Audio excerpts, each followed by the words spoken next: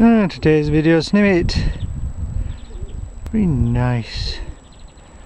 Stones Reservoir in Oldham.